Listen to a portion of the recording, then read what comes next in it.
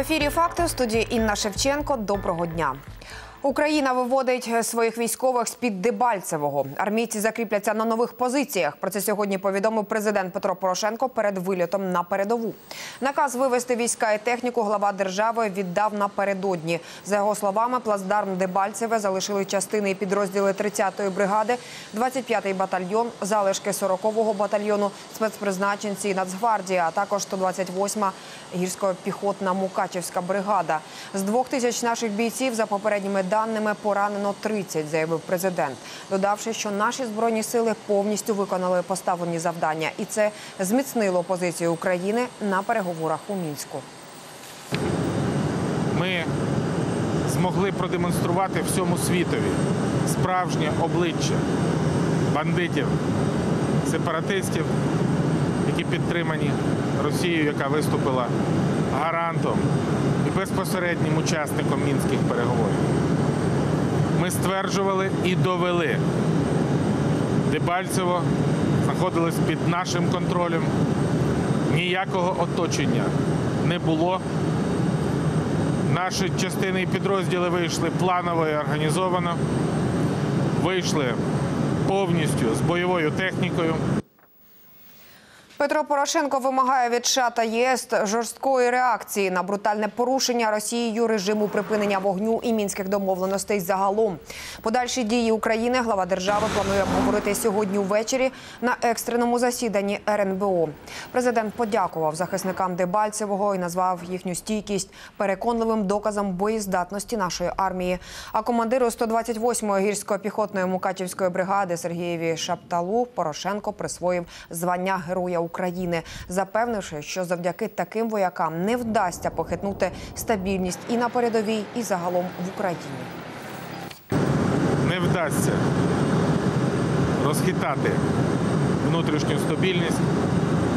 Батальйонами все пропало, батальйонами все кінець, брехнею про 200 і більше загиблих вчора, брехнею про оточені блокпости, про українських військових, які нібито знаходяться там без боєприпасів, їжі і води. Це сценарій не український. І впевнений, що ті, хто його розповсюджували, чекали абсолютно іншого результату. Ні, на щастя, сьогодні ми маємо вдало завершену операцію. Будемо мати можливість і далі боронити державу. Отже, у ці хвилини українські військові все ще виходять з Дебальцевого. Вони змушені відстрілюватися від терористів. Подробиці у сюжеті. Через агресію російсько-терористичних військ і грубе порушення мінських домовленостей українські армійці покидають Дебальцеве. Більшість підрозділів вже вийшла. У штабі АТО та Радбезі деталі цієї спецоперації не повідомляють. Наразі вже близько 80% українських підрозділів полишили цей сектор. Найближчим часом ця операція має завершитися. Про е, втрати ми поки що не можемо сказати, оскільки за останню добу ми не отримали кількість вбитих та поранених. Журналісти з передової кажуть, справжнього коридору російсько-терористичні війська так і не надали. Тож наші хлопці відходили з боєм. Українська артилерія відбивала постійні атаки бойовиків. Идет танковый бой, работает артиллерия. Пехота, как бы, часть смогла уйти, часть, я так понимаю, до сих пор еще не вышла. То есть этот процесс будет продолжаться, наверное, сутку, сутку а то и больше. Они используют наш скотч, почту испо- и наши флаги на машинах, на технике, чтобы подойти вплотную и расстреливать. Воевать так воевать, но просто ходить добивать раненых на это и катать их танками. Ну, это подло. Это просто подло. Зараз із Дебальцевого вже вивели понад сотню поранених українських бійців. Дорогою курсують швидкі та забирають травмованих до Артемівська, а звідти на гелікоптерах по різних лікарнях Харкова та Краматорська. Зараз є більше ста чоловік. В основному осколково взривні вибухові і е, баротравми. Вже два вертоліти, вертольоти поїхали на Харків. Артемівські медики також кажуть про багатьох убитих, але про їхню кількість поки жодної інформації. Яка зараз ситуація у самому Дебальцевому? Інформації інформації мало, але точно відомо, що місто захоплене терористами та російськими військами на межі гуманітарної катастрофи. Действия боевиков привели к гуманитарной катастрофе в Дебальцево практически, потому что Дебальцево и Чернухино, это такой маленький населенный пункт возле Дебальцева, находится по меньшей мере сегодня 5 тысяч гражданского населения, много детей, они в подвалах, у них несколько недель нет ни света, ни газа, ни воды, ничего. На Донецькому напрямку також активізація терористів. Вони обстріляли п'ять населених пунктів. Найбільше постраждали Водяне, Піски, Авдіївка. На Луганщині з градів та артилерії атакували Новотошківку.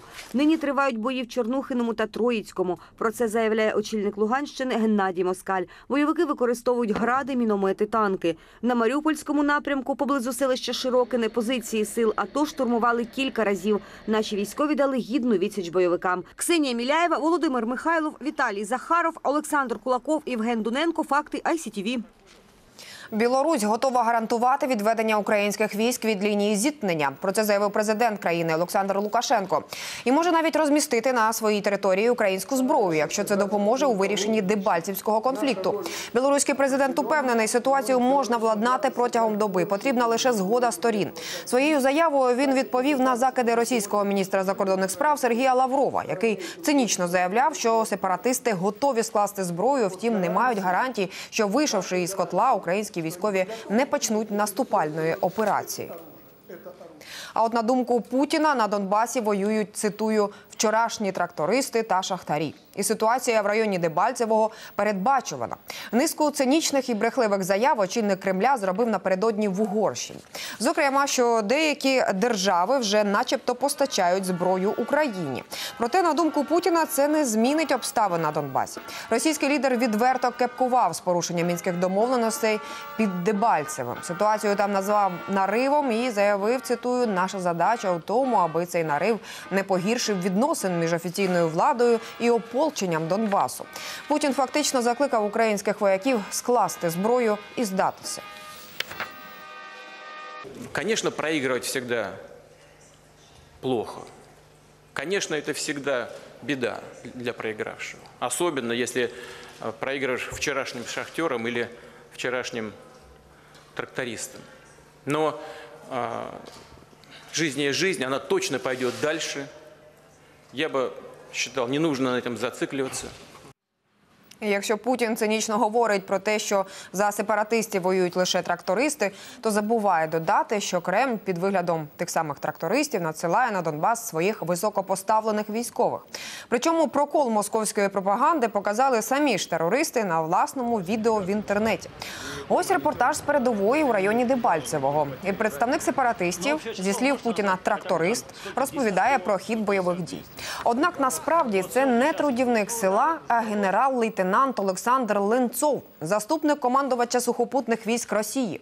Про це свідчать численні фото воєначальника. Ви можете порівняти. Ось знімок з відео, а ось офіційне фото. Що робить один з керівників російської армії у рядах терористів і чи не керує він нападом на Дебальцеве? Кремль чомусь не відповідає. Нагадаю, НАТО подає докази присутності 10 тисяч російських регулярних військ на Донбасі. Рада безпеки ООН закликає проросійських терористів на Донбасі у повній мірі дотримуватися мінських домовленостей та поважати незалежність, суверенітет і територіальну цілісність України. Про це йдеться у резолюції, за яку напередодні проголосували усі 15 членів Радбезу. Це перша ухвалена резолюція за час війни в Україні. Попередні Росія щоразу ветувала. У нинішньому документі наголошується, конфлікт на Донбасі слід владнати мирним шляхом. Також притягнути до відповідальності тих, хто збив малазійський боїнг. А представник України під час виступу вкотре закликав росіян не втручатися у справи нашої держави. в отношении восточных регионов, да и не только, было сказано, идет работа о том, что будет децентрализация с увеличением полномочий органов власти.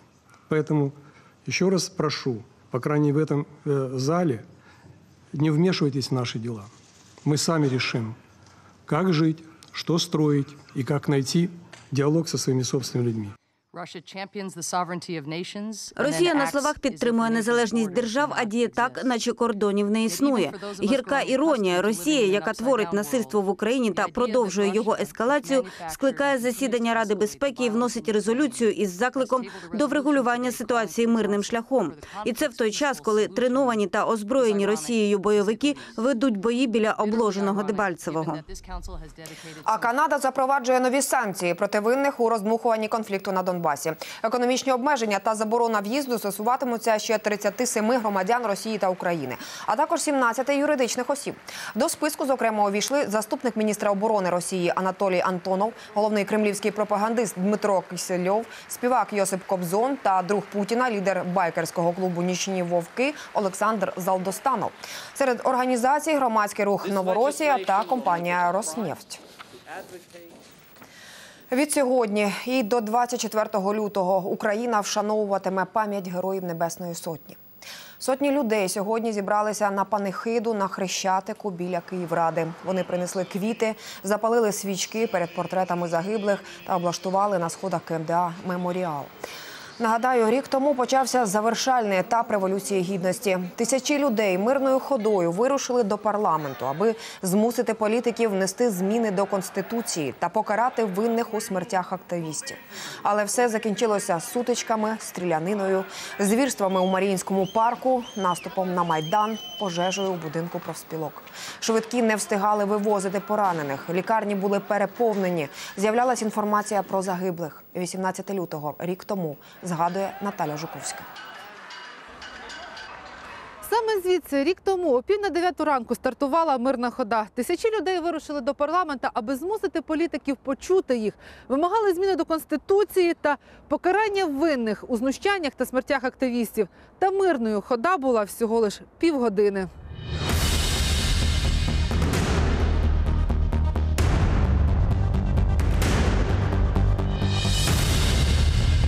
Вже о дев'ятій стало гаряче на інститутській, а на розі із шовковичною справжнє поле бою. Майданівці намагаються прорватися до парламенту. Дорогу їм перегородили камази з піском і озброєні спецпризначенці та міліціонери. У їхній бік летить каміння та петарди. Правоохоронці відповідають жорстокістю, кидають світлошумові гранати просто у натовп. Обурені активісти підпалюють вантажівки, які перекривають дорогу до парламенту. Силовики ж закидають гранатами протестувальників навіть із дахів прилеглих будинків. Та з людей ніхто й не думає втікати. Навпаки, гуртуються та озброюються бруківкою. А ще помічають снайперів знаходять гумові кулі. Водночас стріляють із натовпу. Поранені є з обох боків.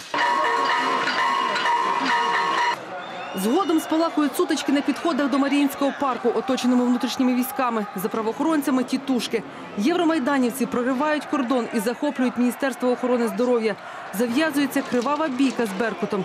Покаліченими тілами парк просто всіяний. Хто вирвався з рук спецпризначенців, ризикує потрапити під удари тітушок. Ті добивають навіть лежачих. Про їхні звірства у Маріїнському ширяться страшні чутки. Ось на цьому відео добре видно, як з табору регіоналів правоохоронці несуть тіло з відрізаною головою. Увагу силовиків на себе намагалися відвернути хлопці з Грушевського. Та сили були нерівні, пригадує майданівець Олександр.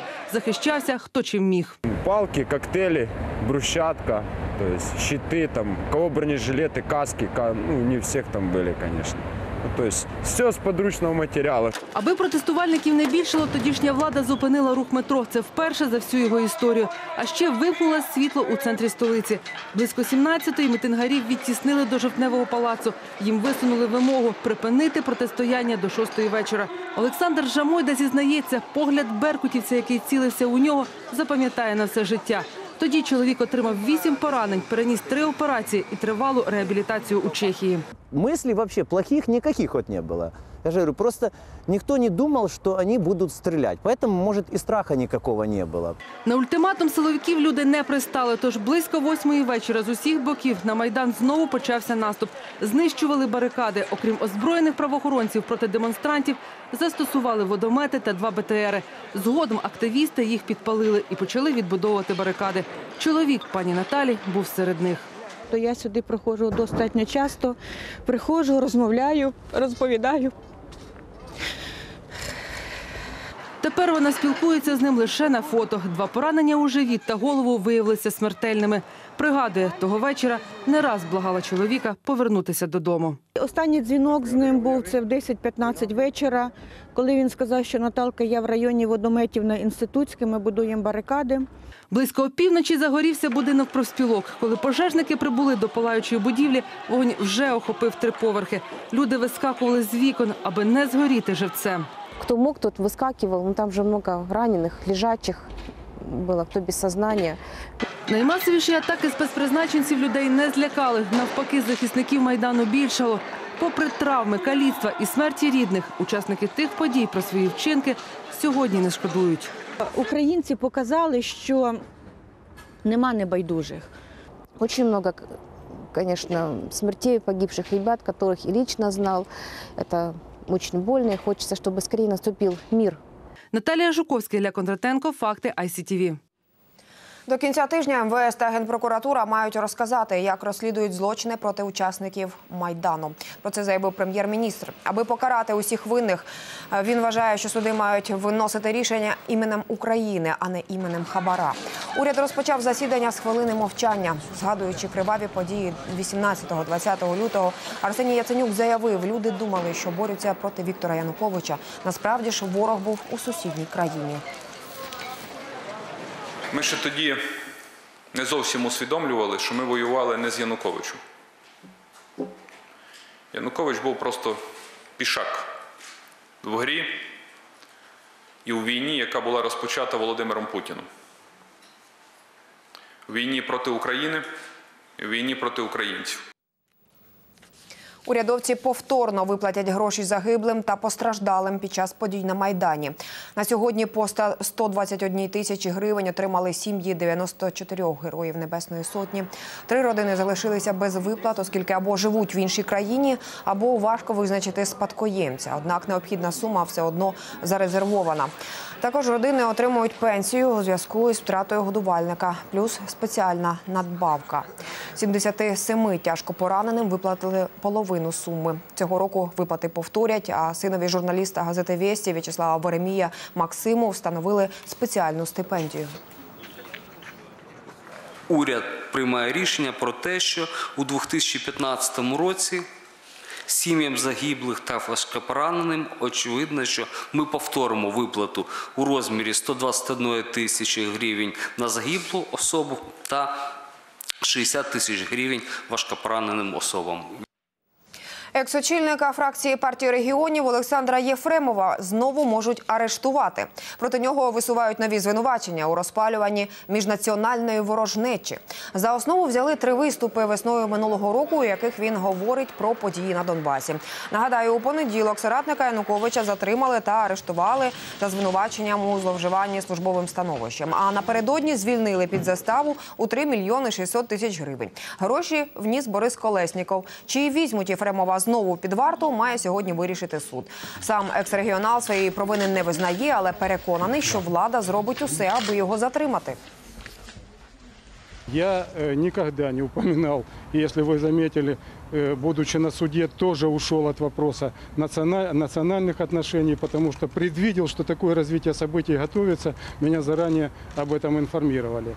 Поэтому считаю недопустимыми вещи, когда власти под любым предлогом пытаются упрятать за решетку человека для того, чтобы он э, не мог каким-то образом высказать свою точку зрения. Олександра Єфремова також підозрюють у фінансуванні сепаратистів Луганщини. Про це сьогодні повідомив голова СБУ Валентин Наливайченко. Зараз я підтверджую, е, що разом з Міністерством внутрішніх справ Служба безпеки контролює, твердо контролює, щоб він не уникнув правосуддя і сьогодні з'явився, так як його викликає далі Генеральна прокуратура, і до слідчого, і далі до суду. Він має відповісти в суді на всі запитання і на всі звинувачення і підозри, які йому пред'явлені і будуть пред'являтися. Напередодні увечері у центрі Одеси стався теракт. Так правоохоронці назвали вибух у 23-й на Великій Арнаутській під дверима офісу лідера одеського автомайдану Євгена Резвушкіна. Потужність вибуху за попередніми даними близько кілограма у тротиловому еквіваленті. Пошкоджено приміщення сервісного центру. Вибуховою хвилею вибиті вікна у сусідніх будівлях. Постраждалих на щастя немає. Слідчі кажуть, вибух дуже схожий на той, що стався минулого тижня. Тоді заряд підклали поруч з квартирою громадського діяча Бориса Херсонського. В подвальном помещении возле входа в сервисный центр э, было оставлено и приведено в действие взрывное устройство. В результате взрыва повреждено помещение сервисного центра, также взрывной волной повреждены окна жилых квартир в этом доме также в доме напротив. Пострадавших людей нет. Регіони кожен по-своєму намагаються розшукати призовників четвертої хвилі мобілізації. Зокрема, у Сумах працівники військомату чатують на них у центрах зайнятості. Подробиці дивіться у сюжеті. У Сумському центрі зайнятості чоловіків тепер на роботу не влаштовують, але організовують зустріч з воєнкомом. Василь не встиг навіть на облік стати після звільнення, як його адресували до військового комісара на співбесіду. Узнать, как, что там в военкомате. Какие там специальности нужны, там, может быть, в армии. А от Ігореві, якого вже відбракували на медкомісії, пропонують іти у добровольчий загін обороняти суми. Если ты списан, ты можешь вступить в отряд ЗГО. Это обороны города в случае Ну, да. войны, боевых действий и Да. всего остального. Знаешь об этом, да? Да, ну я уже проходил обучение. У тебя военный есть? Ну, С собой нету. Така увага до служби зайнятості з боку військового комісаріату не безпідставна. Лише у Сумах більше тисячі потенційних вояків. Це працездатні чоловіки до 50 років. Представник е, військового комісаріату надає послуги е, в роз'яснювальній- інформаційно-роз'яснювальній роботі. Ніяких повісток в центрі зайнятості в нас не виписується. Робота побудована за бажанням. Якщо людина бажає, тоді він приходить в військовий комісаріат, там вже проходить медичний огляд, е, з'ясовують його дані, е, і тоді з ними вже працюють в військовому комісаріаті. Пішли на такі заходи неспроста, каже заступник військового комісара області. Сумщина показала одні з найгірших показників по всій Україні. Призвали тут трохи більше чверті від усіх, хто підпадає під четверту хвилю мобілізації. Є військовозобов'язані, які е, якимось чином е, переховуються десь. До речі, у нас ті, які е, не з'явилися військовий комісаріат, да, вони подані в розшук по нашій області. Це тисячі людей. Співпрацю з підприємствами практикують у Сумах дедалі частіше. Це список, який е, прийшов в відділ кадрів до нас 36 повісток, які ми повинні були вручити своїм робітникам. Це в основному водії автобусів, тролейбусів та слюсарі, які виконують технічні роботи по їх обслуговуванню. Многие у нас водителям пришли повестки, и город останется без половины транспорта. Я после травмы, и все равно меня, как говорится, в армию не возьмут. Хотя бы хоть пришли на предприятие, поспрашивали, кто пригоден, кто не пригоден. А то тратить свое личное время, надо идти в военкомат, проходить полностью комиссию. Нині на дообстеженні у медкомісіях майже 50% військовозобов'язаних Сумщини. Втім, у військкоматі налаштовані рішуче. Щоб не зірвати мобілізацію в області, готові працювати як з організаціями, так і з кожним призовником особисто. Олеся Боровик, Микола Ніколаєнко, Факти ICTV. Спорт у темряві. Юні миколаївці вимушені тренуватися без світла. Його вимкнули за борги. Дитячо-юнацька спортивна школа Спартак орендує приміщення приватної фірми, яка за електроенергію не сплачує. Батьки спортсменів готові дати потрібну суму, але обленерго не дозволяє. Чому дізнавались наші кореспонденти? Миколаївські діти-спортсмени просять обленерго вімкнути світло. Електрику вимкнули в залах спортивної школи Спартак. Тепер там холодно, а ввечері ще й темно. Скасовані тренування понад сотні юних фрістайлістів і яхтсменів. Під загрозою їхня участь у змаганнях. Вот если сейчас на улице минус 12, то в зале будет минус 10. Мы занимаемся в теплых шапках, в теплых носках, в теплых варежках. Это ужасно. Когда будут соревнования, просто мы будем не готовы, поэтому нам некого будет отправить. как заниматься без света. Отменяют тренировки. А у меня... э, Я в училище спортивном учусь. У меня все от тренировок зависит. Я там уже занимаюсь 9 лет. Світло відключили за борги. Після низки оборудок спортивна школа змушена орендувати приміщення у приватної фірми. Однак договору на цей рік не продовжили. Директор припускає, що власник припинив оплачувати електрику, аби виселити дітей. Они, видно, приняли для себя решение, чем нам хуже, тем теперь им лучше. Дали команду отключить свет, и они сказали, что мы отказываемся от своих обязательств, мы не будем выполнять никакие платежи, а то, що там діти і школа, їх не интересует. Батьки юних спортсменів готові самі щомісяця платити 2,5 тисячі гривень за світло, але в обленерго не дозволяють. За отримання і оплату електроенергії має відповідати власник об'єкта. Ми готові вас і включить, и даже пойти вопрос на то, чтобы реструктуризировать этот долг. Мы готовы, но юридически нам нужно, во-первых, решить вопрос с погашением долга, во-вторых, письмо от собственников включить.